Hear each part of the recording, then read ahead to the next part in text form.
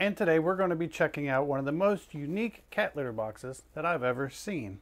It is very, very cool. What it is, it basically looks like a big vase or a planter that you can put in your living room, and it's also a secret litter box. How cool is that? Okay, so some of the things that you're going to get with this, other than the box itself, is you do get a litter scoop. You are going to get an artificial plant, which if you don't like this one, you could probably find another one that you like. You have a little clear disc. You do have an instruction manual, and that's kind of give you a heads up of what it's going to look like. It does have a power cord. It does have RGB inside. Very nice. Sounds like it's got some uh, planer rocks. And this is the top, this is the bottom. So that's everything you're going to get. Let's go ahead, put this thing together real quick. We're going to cut to a time lapse.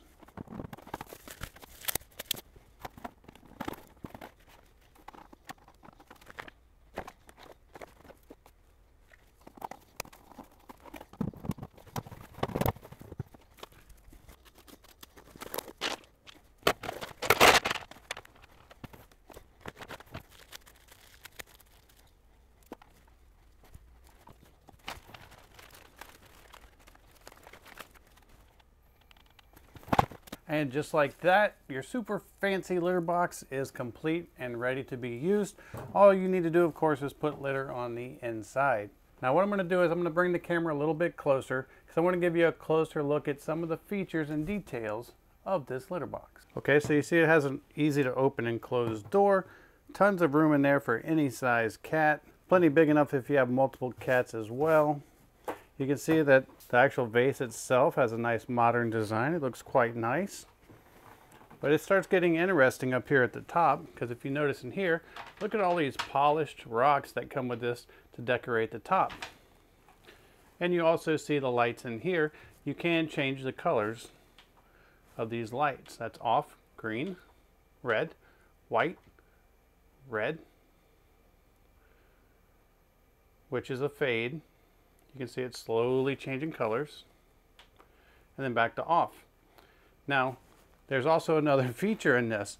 This is actually an odor control system in here with a little fan. I don't know if you can hear it, but it's actually circulating the air and filtering out any bad smells. And you just hold down the little power button back here. And that's how you turn it off.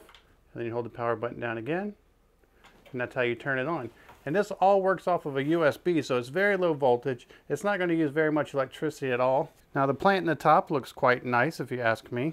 It is a little wired stem, so you can kind of flex it. Well, I don't know if it's wired, but you can kind of move it and organize it the way that you want to to make it look more realistic. And I just think it's a nice added touch and a great way to disguise your litter box. So overall, a very nice litter box. I like the fact that you can change the colors for different seasons or different moods. The active air filter system is really cool. I haven't seen that in a litter box before. It's a nice spacious design, gives your cat a lot of room, and it's gonna help you disguise your kitty's bathroom. I hope this video helps, and thanks for watching.